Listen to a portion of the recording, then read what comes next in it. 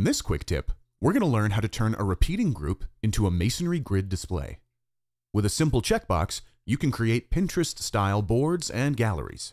Let's take a closer look. Here we have a repeating group on our page. When I preview, it shows a typical layout with a list of pictures. Each cell has an image element, one for each picture in my database.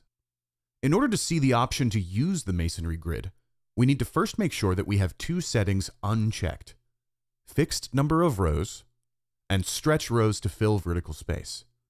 Both of these options would prompt a different kind of layout than what a masonry grid could use. So only once they're unchecked do we see this option, display items as a masonry grid.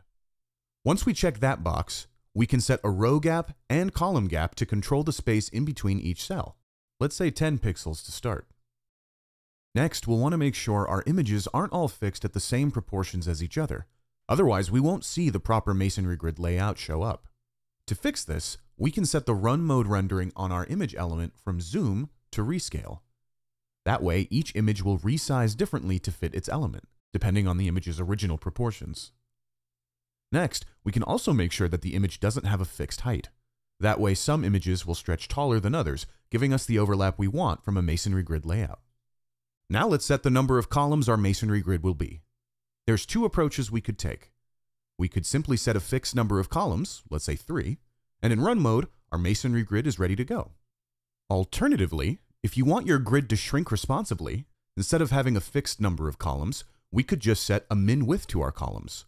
I'll try 250 pixels here so that each column is at least as wide as each image element. Just take note, with no fixed number of columns, scroll direction is now an option.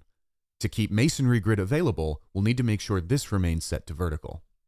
And now the number of columns in our grid will be dictated by however wide the repeating group can be. Currently, our repeating group can stretch to fit the whole page. So if we preview that, here's what our masonry grid looks like. And should we define a max width to whatever group contains our repeating group, we can see how the grid adapts. In this case, the repeating group has no parent group apart from the page.